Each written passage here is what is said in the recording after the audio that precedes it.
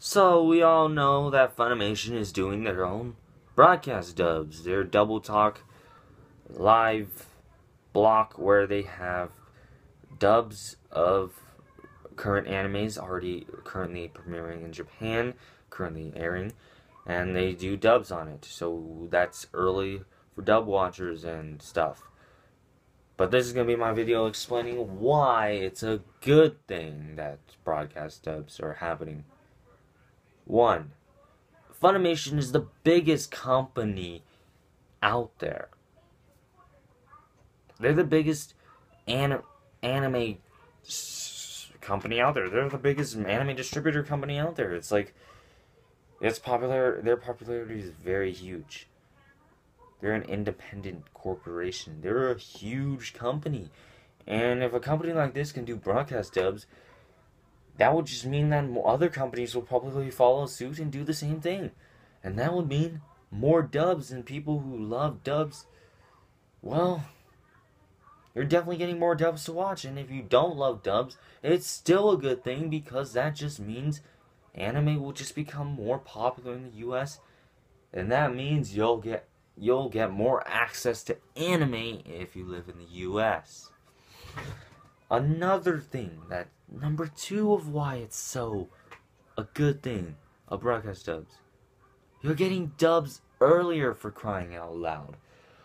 Be, back in the day was not so long ago when we had dubs that took three years until we had it released on Blu-ray. You all remember Dragon Ball Z? What did that take? Like what? One, two years? Three? Some animes take three years. Some animes never get dubbed. So the fact that Funimation is doing this for the anime community will only make more strides because the fact that we have dubs, we get them earlier. So now you get to release them earlier. And it won't take two bazillion years until you see a dub of Naruto. And Funimation might even catch up on One Piece because they are drastically behind. It's depressing, man.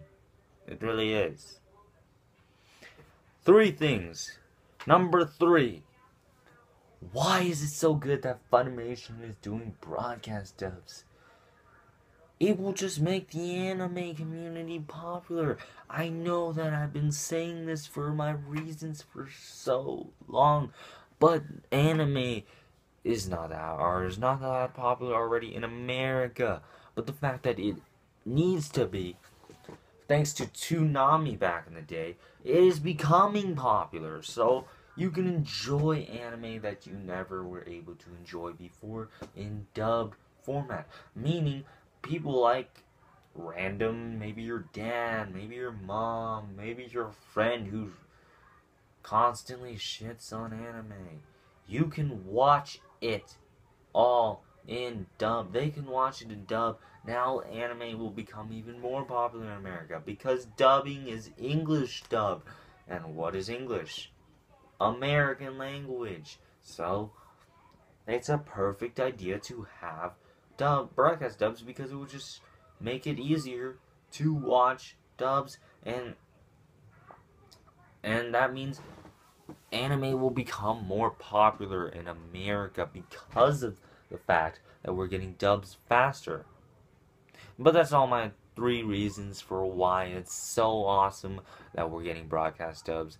If you don't know, we have every Wednesday we have we have Assassination Classroom, Tokyo Ghoul, and Death Parade in dub. Right now, it's the just a just last just a couple Wednesday just a couple days ago on Wednesday, it was they had um the episode two of the Assassination Classroom, Death Parade, and Tokyo Ghoul Route A. Now, to answer your question, why is why are they dubbing Route A instead of Tokyo Ghoul Season One? No, they here's they are dubbing Tokyo Ghoul Season 1.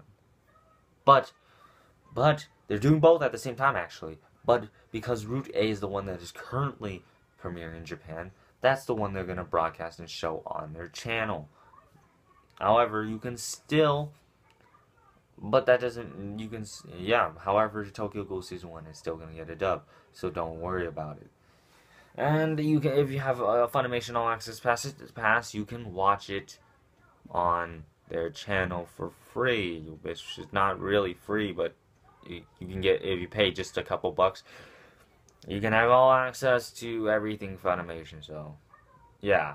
But that's all I have for this video. Thanks everyone, and if you enjoy this video, you can drop me a like, and uh, leave a comment in the comment section below, letting me know what other videos you want me to make, and if you have any suggestions for how to make my video better, please do so as well. And if you haven't subscribed as well, if you could subscribe, that would be amazing. I'm Kevin Ambrose. Have a good one, and I'll talk to you guys later.